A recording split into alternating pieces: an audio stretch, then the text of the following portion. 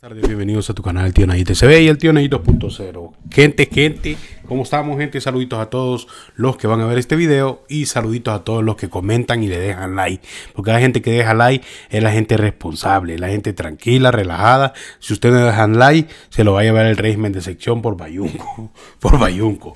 Así que deje su like para que no lo manden a traer enchuchado Porque no va a ir enchuchado Lo va a ir enchuchado y dice la abogada... Eh, López, la abogada Pastor, que si cae en el régimen, que lo tengan ahí por lo menos seis meses por Bayunco, por no haberle dado like al video. Gente, están quedando secuelas todavía de eh, la alcaldesa de Soyapango, la señora, eh, ¿cómo se llama esta señora, hombre? ¿Cómo se llama esta vieja, hombre? Mm, bueno, la de Soyapango, la Montalvo, algo así parece que se llama. Los empleados que han quedado, que ella metió todavía, andan haciendo destrozos. Aquí van a ver ahorita un pedazo de video donde se agarran eh, con una gente que anda ayudando, a ver si anda ayudando a las comunidades para eh, solucionar las cosas de los problemas de la calle y todo eso, ya que la alcaldía, ustedes saben que ahorita anda y anda haciendo y deshaciendo, y lo que van a escuchar en este video tiene mucha razón. Gente como esta ha dañado, está dañando, está eh, minando la la ¿cómo se llama? La apariencia del presidente. ¿Por qué? Porque eh, acuérdense que la gente dice, ah, que era la alcaldesa de Soyapango, era amiga de Nayib Bukele, y que la alcaldesa era de Nuevas Ideas, y que, que, allá. Entonces, gente como esta está minando eh, lo que es el partido. Entonces, escuchemos y vea qué prepotencia la de la señora. Escuchemos. Y con la actitud suya. En vivo estamos ahorita, ¿sí? Estamos en vivo.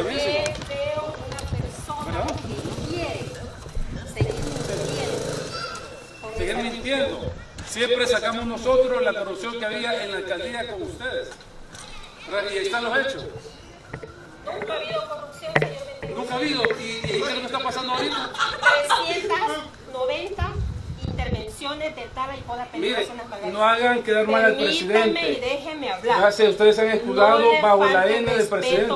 El presidente un buen trabajo, ustedes no. El presidente, el presidente no se ensucia con Obvio, y ustedes lo han hecho quedar mal.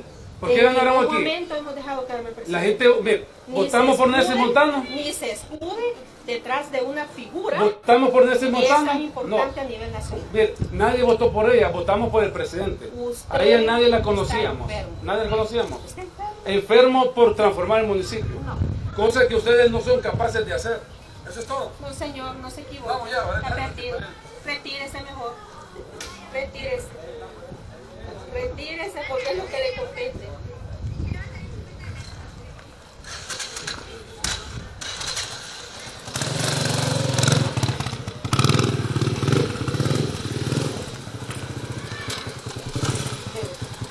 Qué bueno que nos están grabando. Vamos a hacer famosa.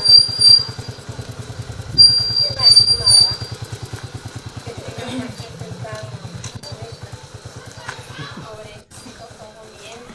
pues sí, fíjate. Bueno, estamos en vivo, estamos grabando eh, para Pango Unido. Estamos en la colonia Las Margaritas, ¿verdad? Eh, pues nos acabamos de, reunir con unos emprendedores eh, de la colonia y pues por cosas de la vida acaban de venir lo que son personal de la alcaldía.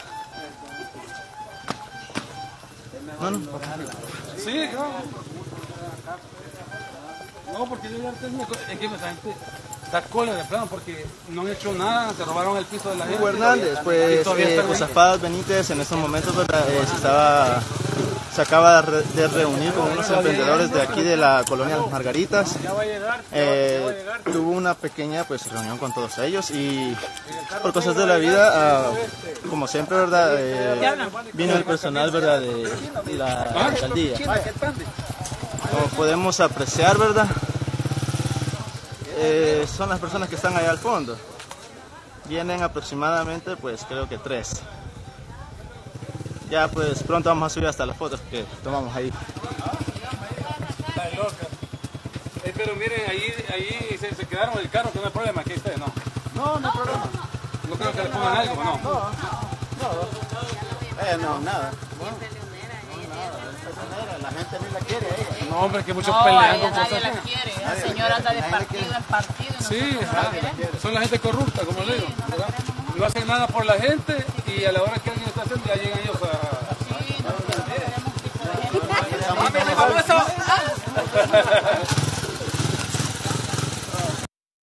Bueno, como lo vieron ahí, la señora algo prepotente y la misma gente le dice de que no la quieren porque la señora es bien peleonera.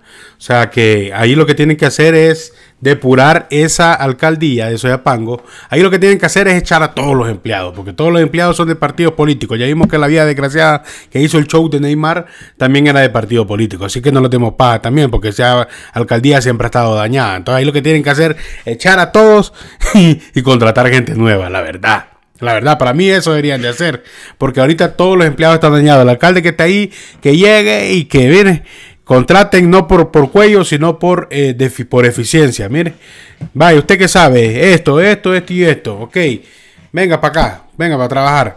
Y así, simple y sencillamente, sin estar la casaca y quitar toda esta gente prepotente, toda esta gente eh, que ha quedado, que ha quedado con la prepotencia de la alcaldesa pasada. Por otro lado, ¿qué creen? Salió la gorgoja, salió la, eh, ¿cómo se llama? La, la, Claudia Ortiz, diciendo de que el régimen de sección eh, no sirve para ella, que tienen que quitarlo de una vez. Pero ¿qué pasa? Que la, la abogada Tania Pastor le va a cerrar el hocico.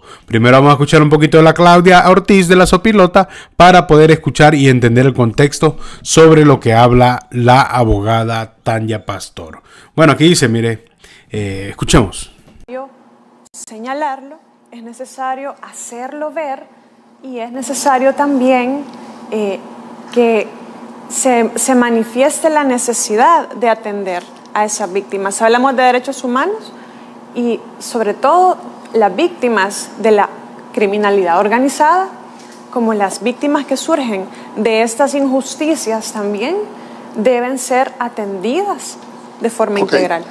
Veamos, en una medida de, de, esta magnitud se ve la parte de legalidad y la parte de legitimidad.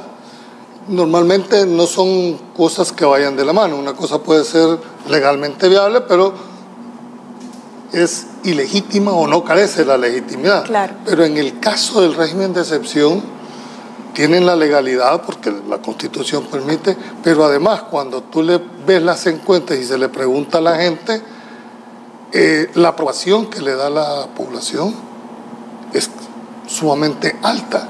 Es decir, hay una legitimidad o un reconocimiento que la acción que ha tomado el gobierno a percepción de la población es buena.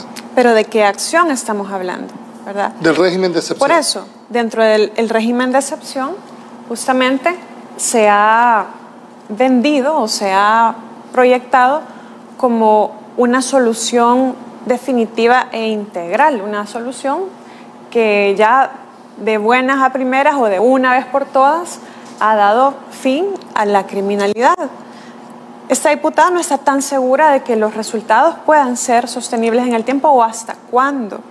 Y también considero que se necesitan políticas más integrales yo no estoy en contra de que se reduzcan los homicidios, ¿verdad? ¿No era necesaria la represión en primera y después entrar a las otras fases? Teniendo un gobierno que tiene todos los recursos a disposición, donde tiene una asamblea que le aprueba todos los recursos que necesita, que tiene las instituciones principales de justicia, digamos, que son afines, nadie lo puede negar, ¿verdad? Teniendo todo eso, ¿por qué es necesario pasar por encima de los derechos de gente inocente y no hacer nada al respecto, simplemente aceptarlo. Y esto porque es importante, los derechos humanos de esa gente inocente, porque cualquier salvadoreño honrado y decente puede caer en esa situación y entonces le va a tener, va a tener que enfrentar esas condiciones, ¿verdad? No es una forma... Y hay de aquel que caiga en el margen de error, Correcto. porque ¿cómo se va a defender? No es una forma de reconocer o los derechos de las personas el hecho de haber liberado a 3.000 personas. A ver, eso es algo que es muy revelador. Significa que el margen de error es significativo, por un lado, pero pongamos atención también, y eso trascendido, no me lo estoy inventando, la gente ha visto los videos, cómo salen los que salen, cómo salen, salen desnutridos, salen algunos eh, con una salud muy deteriorada, salen otros también eh, con enfermedades, ¿verdad? Con la piel llena de hongos, algunos no pueden caminar, entonces habla de las condiciones en las que cualquier persona inocente podría enfrentarse, ¿verdad? Y esto creo que, como ya lo dije, es inaceptable. Además, hay toda una serie de áreas que no están siendo analizadas, que no están siendo abordadas, y es la reparación de las víctimas de la violencia. Es todas aquellas, por ejemplo, personas desaparecidas, porque dicen que ya no hay desaparecidos, mientras no se encuentren, siguen desaparecidos. Y entonces esta diputada ha acompañado propuestas y hemos estado en contacto con diferentes colectivos, organizaciones, asociaciones que han llevado bueno, como vieron ahí, este, ella se está poniendo ahorita como la gran abogada, la super abogada, pero aquí le va a responder la abogada Tanya Pastor. Le cae al hocico porque aquí le da con argumentos por qué se debe mantener el régimen de sección y por qué es necesario. Veamos. Porque realmente está dando resultados. Ambas. En realidad, algo que genera réditos electorales y que además da resultados, yo creo que hay que mantenerlo. Es decir, es una decisión inteligente por parte de las autoridades ya que produce resultados beneficiosos para la población y a su vez, es decir, todas aquellas acciones que son positivas para la población, que, se traducen en resultados eficientes y eficaces para los ciudadanos salvadoreños, pues a su vez, eh, de forma automática o, es decir, lleva impíbito el rédito electoral. Entonces hay que hacer publicidad de ello y quizás en eso fallaron algunos gobiernos en el pasado, porque las cosas que se hacen bien, que se hacen en beneficio, cuando se hace el trabajo que debe de hacerse, es, es un rédito electoral en sí mismo. Entonces, pues mantenerlo es una decisión inteligente porque está produciendo los resultados y porque además genera buen rédito electoral. Tania, hace unos días se dio la captura de líderes de Santa Marta. ¿Por qué es necesario para el país? Bueno, por la situación de los 15 días que ya hemos hablado en otras ocasiones y únicamente lo vamos a limitar al tema de los 15 días y eh, ya, eso para el aspecto legal y jurídico, pero en, en, el aspecto simbólico yo siempre he rescatado la necesidad de mantener el régimen por dos aspectos principales. Uno es el empoderamiento de las personas que se genera por la sensación de seguridad eh, producto de la implementación del régimen y de la prórroga del mismo. Cuando tú le preguntas a la gente, eh, ¿está de acuerdo con el régimen? Sí, porque ha acabado con las pandillas. Eso es lo que la gente directamente eh, entiende. Entonces eso los empodera para que sigan denunciando porque estamos en una fase en donde los pandilleros que quedan en libertad están ocultos, están escondidos, algunos ya los vimos que hasta en féretro van, pero todo la parte más importante o que juega un rol más importante en este estadio es la denuncia ciudadana. Entonces, el régimen de excepción y la, y la sensación de seguridad que ello implica empoderar a las personas para seguir denunciando y para romper con ese ciclo de terror de que si yo denuncio me van a matar o que si yo denuncio estos van a regresar, van a salir más bravos y me van a matar a mí o a mi familia. Eso ya no sucede. Entonces, esa, esa sensación de seguridad es importante continuársela dando a la ciudadanía para que se empiece a generar una cultura de dominio del territorio de, que nos pertenece a los salvadoreños y no a, no a los pandilleros. Perder ese temor todavía no se ha logrado, es un, eso es forjar una cultura diferente a lo que estamos acostumbrados de vivir en el terror. Y por otra parte es el mensaje que se envía a todos los terroristas, como cuando vimos aquella silla número 10 capturada, eh, ese rostro de derrota, de derrota ese rostro de, abatimiento, de todos lo vimos eso es un mensaje para el resto de pandilleros que están en la calle. Lo que les queda es, si se enfrentan a las autoridades, probablemente la muerte o definitivamente la cárcel porque van a responder por sus actos criminales. Entonces es un doble mensaje. Cada prórroga de este régimen, la ciudadanía se empodera y los terroristas se aterrorizan, irónicamente. Incluso las autoridades han dicho de que este régimen pues, atrás el remanente de pandilleros. ¿Considera usted se quita ese remanente, sería sostenible siempre el régimen? Por los 15 días pienso que siempre va a ser necesario en el sentido de fundamentar mejor los casos por tratarse de, casos complejos. Eh, sin embargo, pienso que la razón más fuerte que habilita la prórroga del régimen es lo que denuncié anteriormente, que no tiene nada que ver con lo jurídico, sino eh, más bien un tema de empoderamiento de ciudadanía y de muestra de los terroristas que eso es lo que les toca a ellos bajo el régimen de excepción. Es un tema más simbólico, en mi opinión, eh, que, legal, porque legalmente solo hablamos de los 15 días de beneficio para las autoridades, autoridades que ya están cansadas, ya vienen eh, tras 10 prórrogas de este régimen, autoridades que tienen pocos recursos, poco elemento o talento humano, como lo denominan en la policía, y que estos días Eh, si bien es cierto, podríamos decir, bueno, es los derechos de los procesados, pero por otra parte, bueno, el beneficio, es decir, cuando nosotros hacemos una ponderación eh, y vemos el nivel de cansancio que hay, el trabajo que se está haciendo, el tiempo que se les está otorgando con los 15 días, yo creo que pesa más eh, los beneficios que se logran y, la oportunidad que se le da a las autoridades de investigar mejor sus casos con todo el cansancio que hay que la lesión que pueda darse en cierta medida al prorrogar en el tiempo al derecho de defensa de los pandilleros o de las personas presuntamente pandilleras. Voy a corregir porque no todos los detenidos podemos afirmar que si son 60 mil, son 60 mil terroristas. Yo creo que ese es el peor error que podemos cometer, afirmar que lo son, porque precisamente para eso están en un proceso penal, para demostrarse que sí lo son. Vale, como ven, una bofetada en el hocico a la chichipata de la Claudia Ortiz. Claro y pelado se lo mandó a decir por qué es necesario el régimen, por qué se va a mantener simple y sencillamente y es por lo que ella lo quiere quitar. Porque sabe que hay rédito electoral para el partido Nayib Bukele, para el partido Nueva Idea y está ayudando a la gente a la vez. Por eso es que esta chichipata lo quiere quitar, por ahí que estaba de abogar con los otros gorgojos. Por otro lado, el cuche tierno, el cuche de, de, de Paul Monroy, esta osada, esta vaquechada de la oposición que cree que le, habla a Dios, que cree que, es, cree santo, iluminado, esta basura de Paul Monroy ha provocado que eh, la gente se esté llevando a sus criaturas, que manda a traer a sus hijos eh, solos. Entonces unas niñas quedaron a la intemperie donde casi fallecen. Mire lo que dice la basura esta que incita a la gente a sacar a la familia y es lo que está pasando hoy que encontraron a las tres criaturas eh, desaparecidas ahí en el monte, las dejó el coyote. ¿Por qué? Por eh, pensar como este bruto, por pensar como este estúpido que le da paz a la gente. Escuchemos. Compatriota, por favor, aunque sea usted foca, siga este consejo. Aunque sea usted foca, siga este consejo. Porque estas foquitas Muchos están dejando de aplaudir y se van a pasar, van a salir del lado oscuro y se van a pasar al lado correcto. Si usted tiene a sus hijos menores de 18 años en Estados Unidos, haga todo lo posible por traérselos a la frontera entre México y Estados Unidos.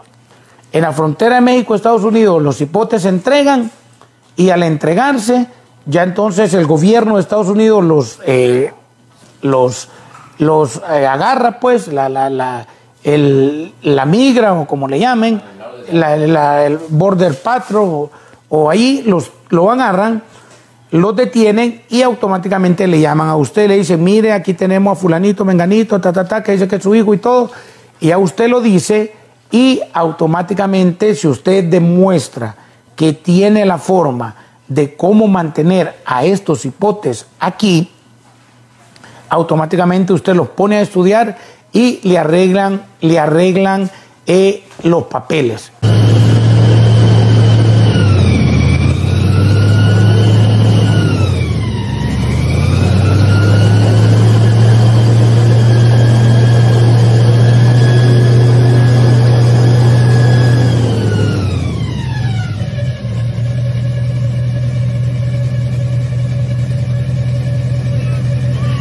Le voy a leer lo que dice. Mire, dice, padres salvadoreños mandaron a traer a un coyote, con coyote a sus niños para estar juntos en Estados Unidos. Los coyotes, al sentirse la presencia de los agentes federales, los dejan abandonados a su suerte en la isla El Mudo del Río Bravo. Al final fueron rescatados. Mire.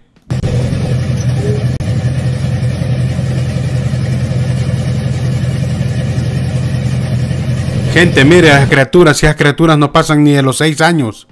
Increíble, pero cierto. ¿Por qué? Todo por estar escuchando la estupidez de una oposición, de estar diciendo que saquen sus hijos y saquen sus hijos dejándose dar paja. ¿Por qué? Por gente como estúpida esta de la oposición, como lo es Paul Monroy. Mire, este imbécil que está aquí, ve. No dejen dar paja a esta gente, y esta gente nunca va a sacar nada bueno. Siempre ha sido malo lo de la oposición. Si este viene de arena, viene de, de, de, de, de pegarle el lenguatazo en los coyolitos a, a por Tío Cuara, no ahí salen fotos abrazándolo, pues. Si este ha sido este ripio, es la de arena, hombre. Si este ha sido basura corrupta también. No dejen dar paz a este tipo de gente. Por otro lado, también tenía que salir uno del FMLN, va, como ustedes ya saben, eh, Raúl Raudales, algo así parece que se llama este maestro, como siempre, politizando las cosas. ¿Y por qué lo digo politizando? Porque empieza a decir de que por él que no hay esto, que no hay lo otro. Entonces, ¿cómo es posible que en tres años de Nayib Bukele han salido tres personas de millones, tres millones de personas, perdón,